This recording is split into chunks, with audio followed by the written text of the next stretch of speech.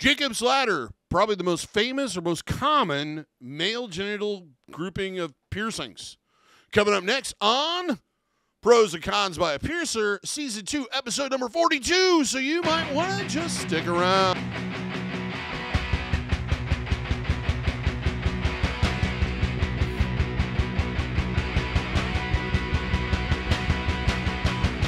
For those who are new to the channel, first off, welcome to the channel. Hope you're enjoying the videos. Hope you're finding them helpful in making those critical, piercing decisions that you may have.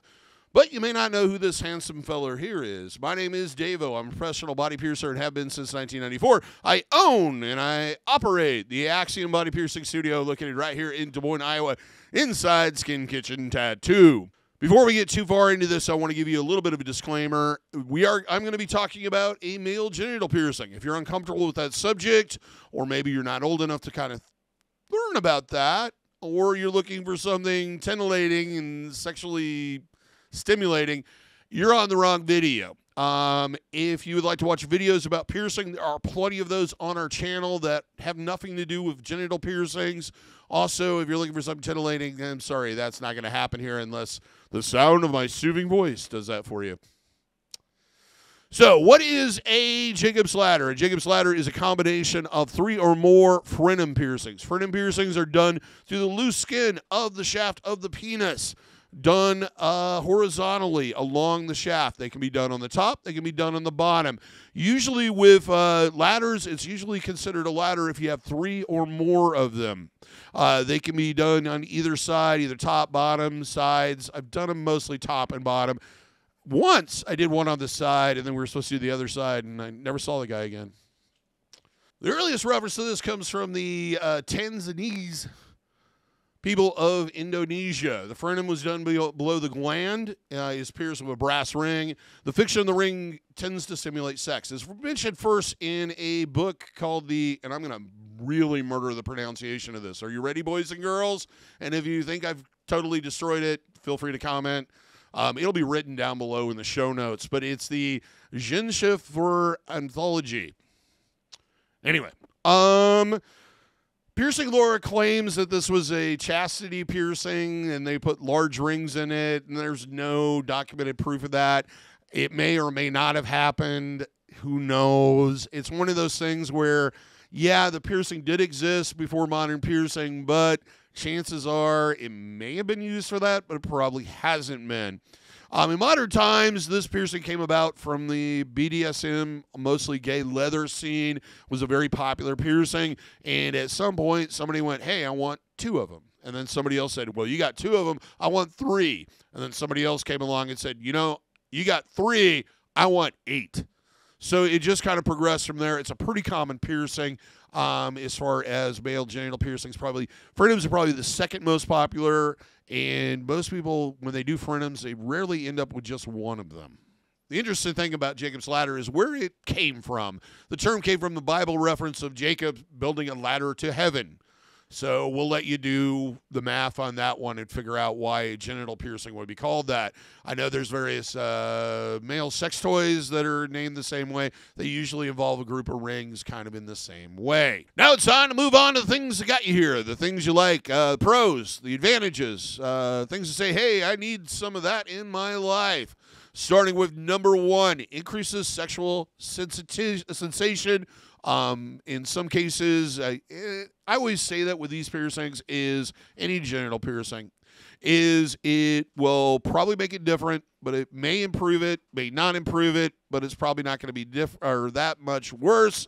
And if you didn't have the skills in the first place, it's not going to really improve anything.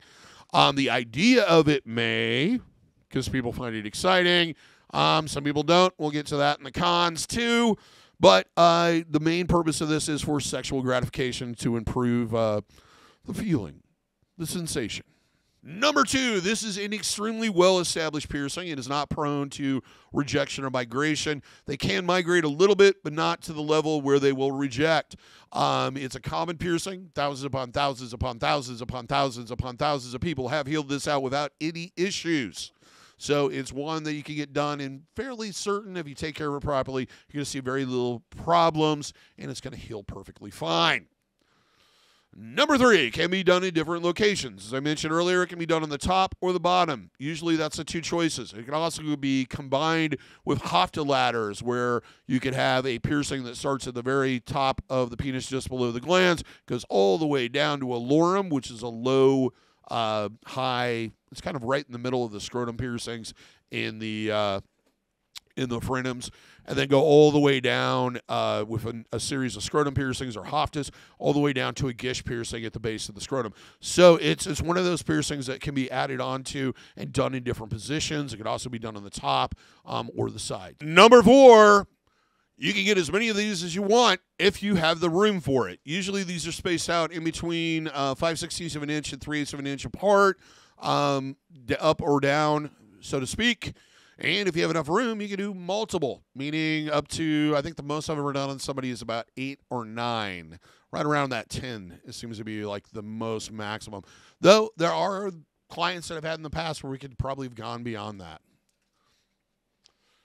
And the last one, number five, easy to conceal. If you work in a profession or you uh, live in a very conservative part of the world, this is a piercing that you can have that, unless you want people to know you have it, they will not know that you have it.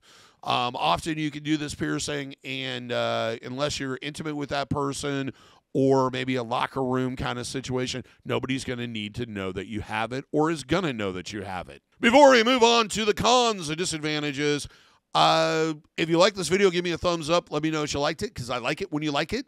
Also, if you haven't already, subscribe, hit that notification bell so that you're notified every single time we post something. If you have something to add to the conversation, maybe you have these piercings and you'd like to share your experience or you have a question about them, please leave a comment. I try to answer them when I have time. Now it's time to move on to the cons, the disadvantages, the things that may make you go, ah, uh-uh, not for me. That's not what I'm going to be doing with my life. Starting with number one safe sex for six months. After this piercing is done, I generally suggest practicing safe sex, which means some type of latex barrier, for a minimum of six months. Uh, it doesn't matter if you've been with a pa- partner for 25 years. We're more concerned about that hard metal through soft tissue causing tears and then having an exchange of bacteria and getting an infection. Number two, more acceptable to STDs even after the piercing is healed.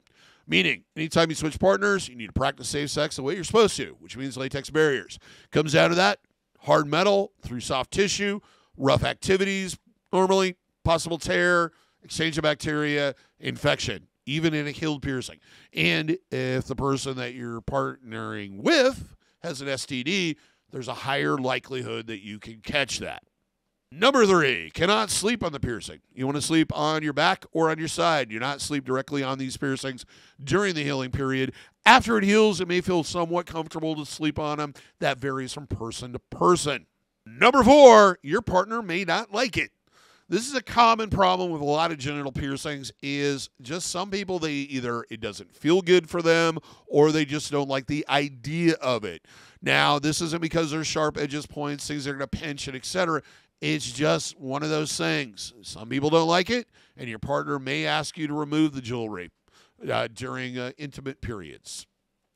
Number five, bleeding. These piercings are not as much of a bleeder, but they can bleed anywhere from three to five days after they're initially done. Um, it's something you need to prepare for with things like uh, sanitary napkins or pads during that initial healing period.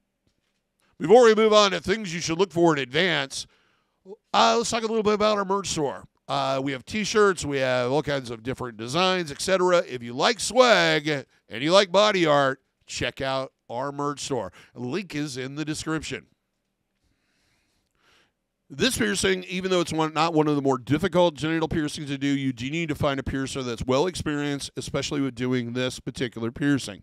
They need to understand the structure of the penis. They need to understand that they don't want to go too deep. They need to not go through the urethra or cause some other problems um, is something you need to kind of search out and find somebody that understands how to do this, what the placement should be, and especially jewelry sizing. Because if it's too small, it can be extremely uncomfortable when you become aroused.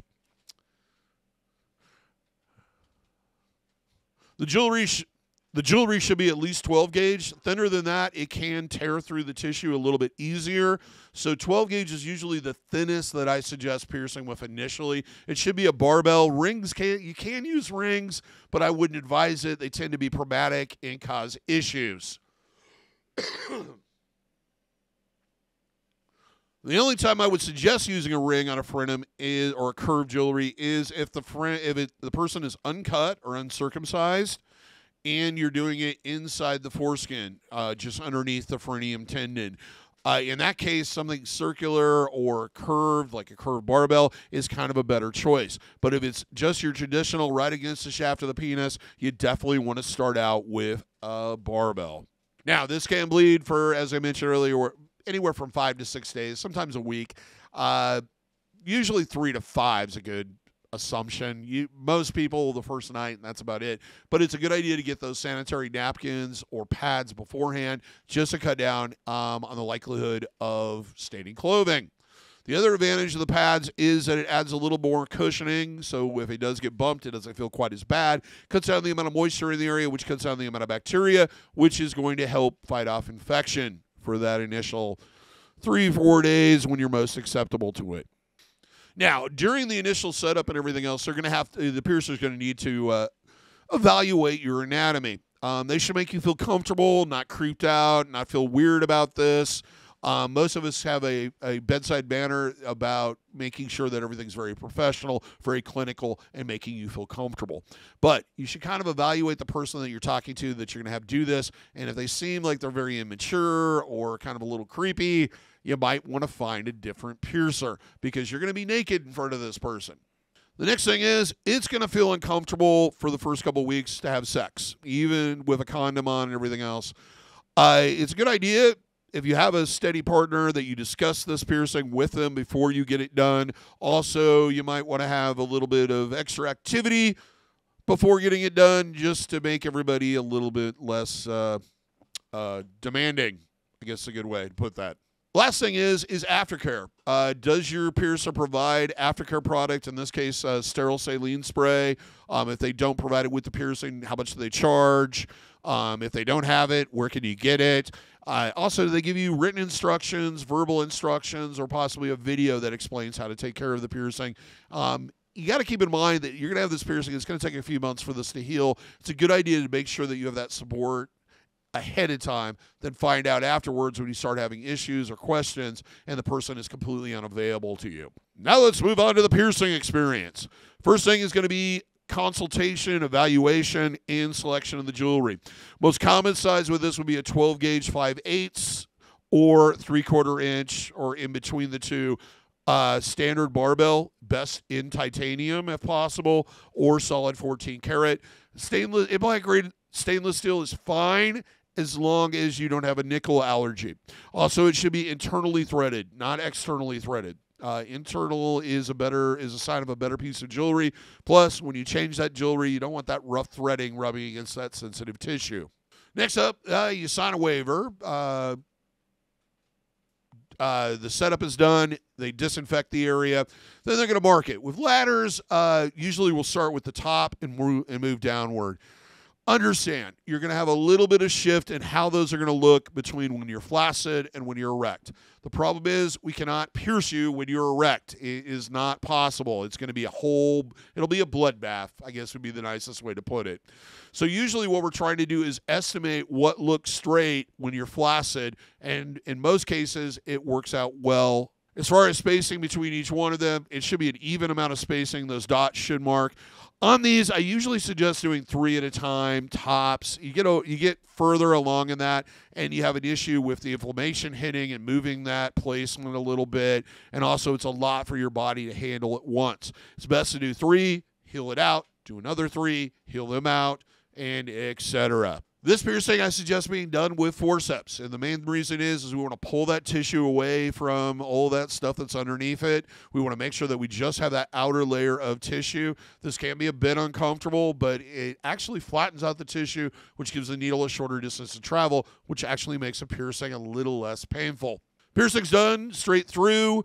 Um, usually with these, it's kind of an intense ouch and then your endorphins and everything else kick in, and it's kind of gone. It's kind of, oh God, that hurts, and then over.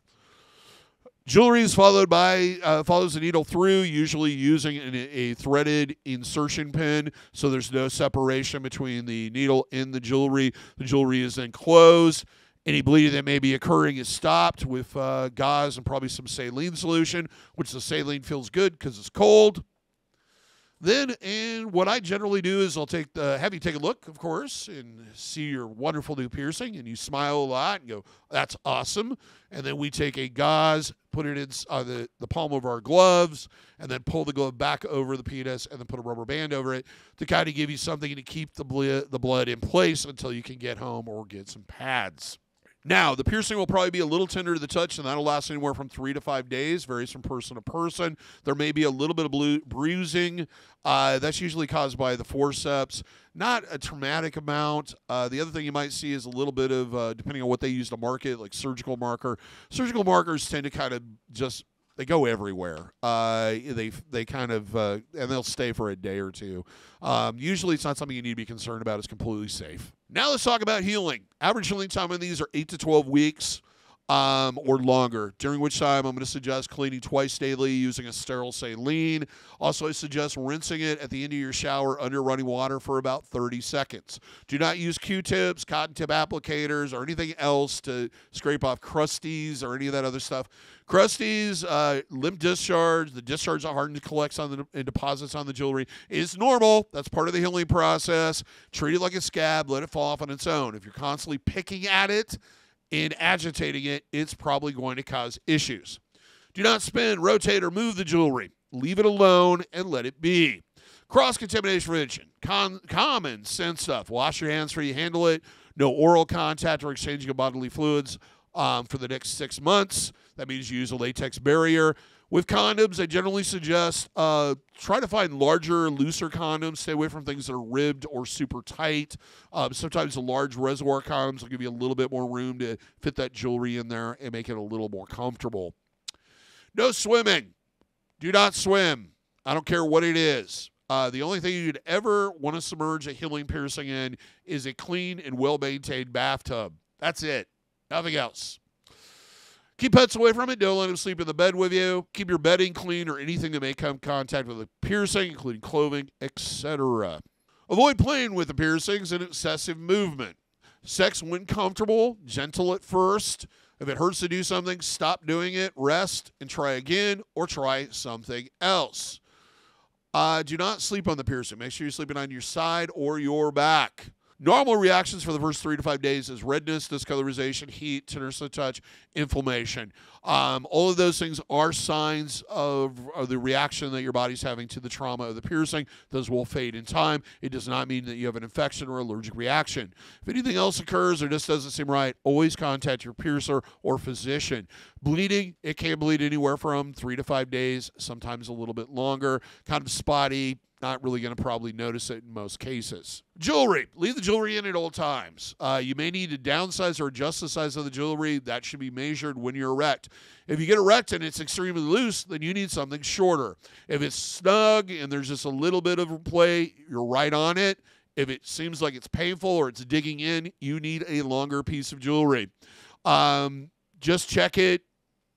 Talk to your piercer and try to figure out the best size that's going to work for you. Check the ends on these on a regular basis. Balls have a tendency to come unscrewed on their own, just rubbing against clothing, bedding. Um, if you're sexually active, of course, that's putting another uh, pressure point that could possibly unscrew that. Just check them at least once a week. Uh, they usually fall off at the worst possible time, and it's my experience with genital piercings. They usually fall off when you sit down on the toilet. So even if you could get that ball back, I don't think you necessarily want to put that next to the piercing, especially if it's just healing. Make sure that the jewelry has no sharp edges, points, or anything that is going to be uncomfortable if it comes in contact with skin. Not only for yourself, but for your partner. Sharp edges are not going to feel good, is basically what I'm getting at. The best jewelry options with this is barbells, um, depending on the placement. If it's under the foreskin, possibly a circular barbell or a curved barbell or a ring may be a little more comfortable. Last thing on jewelry. Uh, this is a mucous membrane. I do not suggest wearing silver. Silver, as it comes in contact with the skin, can erode and leak out what's called silver salts. Their body then absorbs it because it's a mucous membrane and it can lead to silver poisoning, which is a discolorization, kind of turns it a grayish blue. And the only way to get rid of it is to have it surgically removed the actual tissue. So, no silver, nothing made of silver should be in that area of your body. Let's talk a little bit about living with a piercing. Jewelry, once again, should stay in at all times. Check the ends regularly. Uh, when switching partners, make sure that you practice safe sex, meaning latex barriers every single time you go from one partner to another until you've been properly tested. Lastly, let's talk about abandoning the piercing. If the piercing is still healing and there are any signs of infection, consult a doctor or your piercer before mo- removing the jewelry. If you take the jewelry out, there's a possibility of causing worse issues. The problem is is how your body heals infections. It heals infections by pushing infected tissue and fluids out through the wound while replacing with healthy tissue below. The possibility is that if you remove the jewelry, the piercing holes both seal up, possibly trapping that affected tissue and fluids inside your body, creating uh, then your body will isolate it by creating an abscess or a cyst, and then slowly try to push it to the surface again. It can be very painful, very uncomfortable, and will require medical attention. So if there's any signs of infection, do not just take the jewelry out. Consult your piercer or see your doctor before you remove it. If the piercing is healthy, either healing or after the healing period, if you remove the jewelry, it's going to slowly begin to close first in the center and then building outward. You're going to notice some scar tissue and possibly kind of a loop of tissue, it looks like, that where that jewelry used to be. These piercings kind of tend to heal outward. They're basically a surface to surface piercing, but they're one that actually works. Over time, these scars will begin to fade um, until it, it may not even be noticeable at all. A lot of times piercings will look open because it looks like both the holes are open, but the reality is is it's already sealed up in the center. Um, if you think you possibly still open, your best option is to go see, and you want to put jewelry back in. Your best option is go see your piercer. Have them try to put a taper pin through. That'll generally tell them whether or not it's open or not. Lastly, uh, the piercings may discharge this stuff that kind of uh, looks like cream cheese and smells like dirty bum. What that is is sebums. Uh, it's a natural product. It's kind of a waxy oil that your body produces to make you watertight and also to uh, moisturize the skin and moisturize um, hair follicles. With piercings, sometimes it'll collect inside these abandoned piercings or even current piercings with jewelry in them. Uh, nothing really special you need to do. It's not a sign of infection. It's not something you need to worry about. Just uh, cleaning the area with warm water and soap will usually get rid of it. Well, that's all I have to say about the most common male genital piercing groupings there is. Till next time, here's hoping your piercings heal with ease and without a single issue. And if you're in the Des Moines, Iowa area, I hope to see you for your body piercing needs in the future. Have a good day, everybody. Take care. Thank you for watching, and check out one of these other videos.